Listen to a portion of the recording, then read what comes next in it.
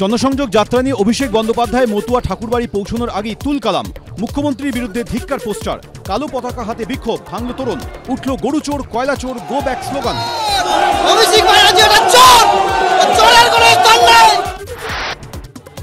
গন্ডগোলের জেরে নাটমন্দির থেকে রাজ্য পুলিশকে বের করে মূল ফটকি বন্ধ করে দিলেন বিজেপি সাংসদ শান্তনু ঠাকুর। ঠাকুরবাড়ির মন্দিরে ঢুকতে পারলেন না অভিষেক বন্দ্যোপাধ্যায়। পাশের একটি মন্দিরে পুজো দেন তিনি। তারপর যান বিনাপানি দেবীর ঘরে। সেই রাস্তাটা দিয়ে হেঁটে তৃণমূলকে ধমকাচ্ছে চমকাচ্ছে রাস্তাটা মমতা ব্যানার্জির করা। আমার চাইলে আমার পাঁচ মিনিট লাগবে এই লোকজন ভেঙে আমি ঢুকে যাব ঠাকুর বাড়িতে। ওকে কোন ওকে কোন মন্ত্রীও? না পশ্চিমবঙ্গের মন্ত্রী নাকি সেন্ট্রালের মন্ত্রী? রাজনীতি করতে আসছে ঠাকুরবাড়িতে আগে ঠাকুরবাড়িটাকে শেষ করে গেছে একটা। এখানে ছিল সেটাকে তো সেটাকে তো দূর করা হয়েছে আবার এ শুরু করেছে এসে। এই ঠাকুর বাড়ি ওনার পৈতৃক সম্পত্তি নয়। আগামী দিন যারা ধর্মকে সামনে রেখে রাজনীতি করছে তাদের পতন অবধারিত।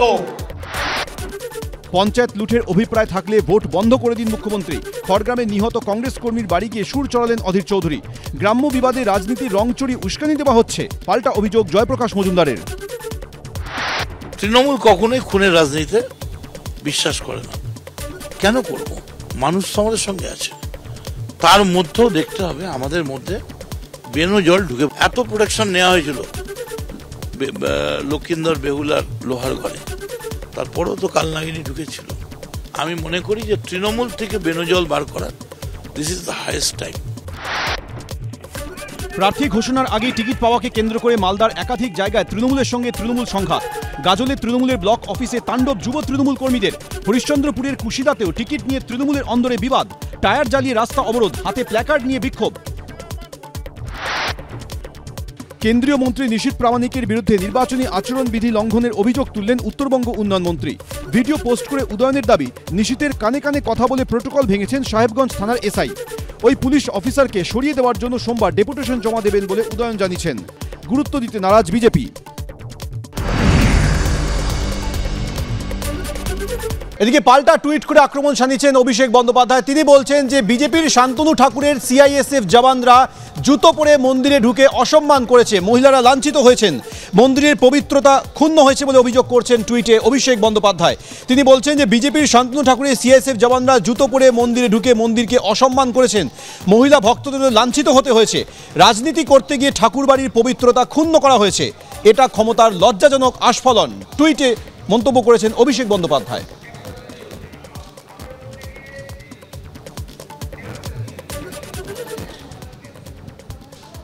আজকে বিজেপির কিছু গুন্ডারা ঠাকুরবাড়ির গেটে তালা মেরে দিয়েছে শান্তনু ঠাকুরের কথায় যাতে আমি ঢুকতে না পারি।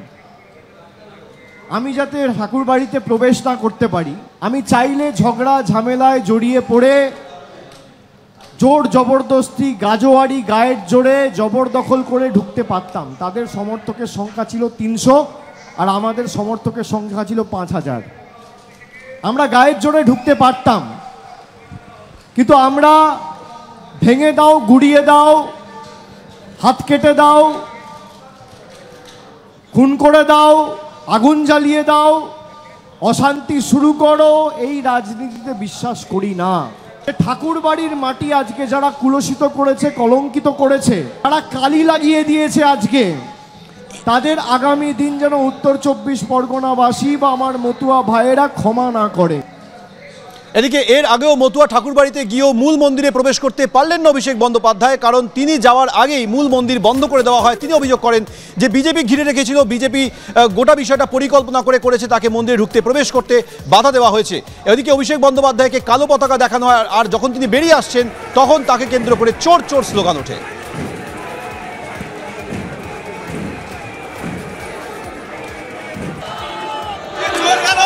চলে গেল! চলে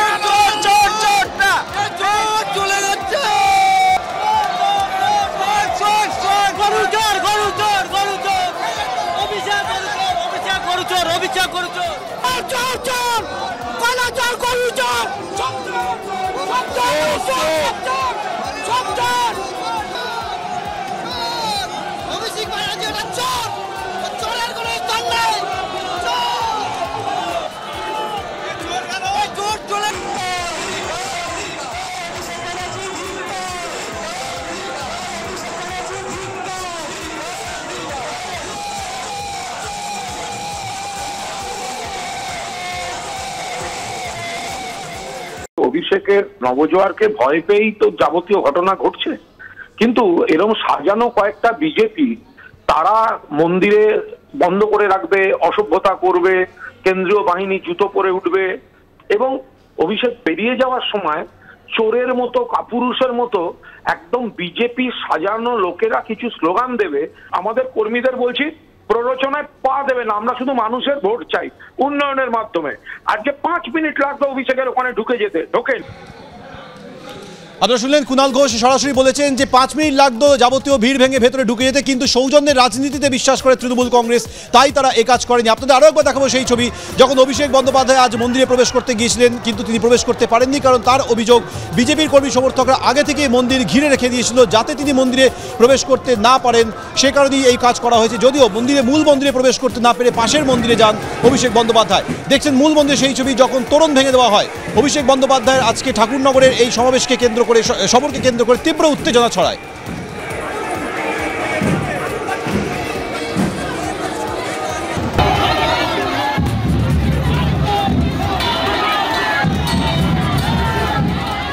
বিজেপির আজকে কোনো এ ধরনের প্রতিবাদ মিছিল ছিল না। বিজেপির কোথাও কোনো কর্মসূচি নেই যে অভিষেক বন্দ্যোপাধ্যায় গেলে থেকে ব্ল্যাক ফ্ল্যাগ দেখানো হবে, অভিষেক বন্দ্যোপাধ্যায় গেলে থেকে গো ব্ল্যাক স্লোগান দেওয়া হবে, অভিষেক বন্দ্যোপাধ্যায়কে দেখে কেউ চোর চোর বলবে, চিৎকার করবে। এটা বিজেপির কর্মসূচি নয়, এটা বিজেপির সংস্কৃতিও নয়। বিজেপি এই ধরনের সংস্কৃতি, এই ধরনের কুরুচিকর আক্রমণকে সঙ্গে নিজেকে সম্পৃক্ত করতে চায় না। এখন প্রশ্ন হলো, ঠাকুরবাড়ি ঠাকুরবাড়ি বিজেপির আগে থেকে তৃণমূল কংগ্রেসের পরিচিত? ঠাকুরবাড়ি থেকে তাদের রাজ্যের মন্ত্রী ছিলেন, এমপি ছিল, বিধায়ক ছিল তারপর ঠাকুরবাড়ি থেকে কয়েকজন তাদের রাজনৈতিক অবস্থান পরিবর্তন করে বিজেপিতে এসছেন এবং মানুষের ভোটেই নির্বাচিত হয়েছে তো স্বাভাবিকভাবেই মুখ্যমন্ত্রী কোনো একটা বক্তব্যকে কেন্দ্র করে একটা বিতর্ক তৈরি হয়েছিল, যে বিতর্কটাও রাজনৈতিক বিতর্ক ছিল না। রাজনীতির আঙ্গিকে ঠাকুরবাড়িকে টেনে আনা হয়েছে আজকে তৃণমূল কংগ্রেসকে দিয়ে। তৃণমূলের মনোনয়ন কন্দলে গুলি চলার অভিযোগকে কেন্দ্র করে উত্তপ্ত কোচবিহারের দিনহাটা। বন্ধ রয়েছে দোকানপাট ক্ষুব্ধ ব্যবসায়ীরা। এদিকে গুলি চলার অভিযোগ সরাসরি অস্বীকার করে অভিযুক্ত তৃণমূল নেতা পাল্টা দাবি করেছেন। তার উপরেই হামলা হয়েছিল। যদিও দুষ্কৃতীরা এখনও অধরা। আমি হয়তো বিরোধিতা আমি আমি যে যার সাপোর্টে ছিলাম সে হয়তো পাবে না নমিনেশন যার জন্য আমার দোকান চুর ভাঙচুর করা হয়।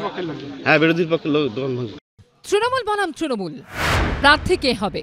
তা নিয়ে দ্বন্দ্বে শনিবার কোচবিহারের ওকরাবাড়িতে তৃণমূলের সম্ভাব্য প্রার্থীর ভাইকে লক্ষ্য করে গুলি চালানোর অভিযোগ ওঠে তৃণমূলেরই আরেক সম্ভাব্য প্রার্থীর বিরুদ্ধে। সেই ঘটনা ঘিরে এবার আরও উত্তপ্ত হয়ে উঠল ওকরাবাড়ির হাজিবাজার এলাকা। এবার অভিযুক্তর ওপর হামলা। তার বাড়ি ভাঙচুর ও স্থানীয় দোকান ভাঙচুরের অভিযোগ উঠল আক্রান্ত তৃণমূল কর্মীর দাদার অনুগামীদের বিরুদ্ধে। ঘটনার সূত্রপাত ওকরাবাড়ির দুশো তিপ্পান্ন নম্বর বুথের মনোনয়ন ঘিরে প্রার্থী তালিকা ঘোষণা হওয়ার আগেই এই বুথে তৃণমূলের হয়ে মনোনয়ন জমা দিয়েছেন বাবলা হক। অভিযোগ, সেই আক্রোশে শনিবার সন্ধে বাবলা হকের ভাই লিপটনকে লক্ষ্য করে গুলি চালান দুশো তিপ্পান্ন নম্বর বুথের তৃণমূলের আরেক দাবিদার রুহুল আমিন। এই যে বাজারে, সেখানে কিন্তু উত্তেজনা এখনও চরমে দুপক্ষের লোকজন এখানে রয়েছে। আমরা দাঁড়িয়ে আছি সেই ঘটনাস্থলে, এখানেই কিন্তু গতকাল যে অভিযোগ, লিপটন হককে লক্ষ্য করে গুলি ছোড়া হয়, যদিও গুলি তার কপাল ছুঁয়ে বেরিয়ে যায় এমনটাই জানা যাচ্ছে। তবে সকাল পর্যন্ত কিন্তু এই ঘটনায় এখনও পর্যন্ত কাউকে গ্রেপ্তার বা আটক করা যায়নি। যখন লিপটনকে হাসপাতালে ভর্তি করা হয়, হাসপাতাল সূত্রে খবর, গুলি তার কপাল ছুঁয়ে বেরিয়ে গেছে। সেই কারণেই ক্ষত। আমার প্রার্থী জাঠাতো ভাই না ওই আমাদেরকে মনে করো মানে আক্রমণ করে। আক্রমণ করে মানে গালা গালি গালাগালিজ করে। অবস্থাটা ভালো না হাসপাতালে আছে। এদিকে হামলার অভিযোগ পুরোপুরি উড়িয়ে দিয়েছেন অভিযুক্ত রুহুল আমিন। তার পাল্টা দাবি তার উপর হামলা চালায় লিপটনের দাদা বাবলা শেখের অনুগামীরা। ভাঙচুর চালানো হয় স্থানীয় বাজারে।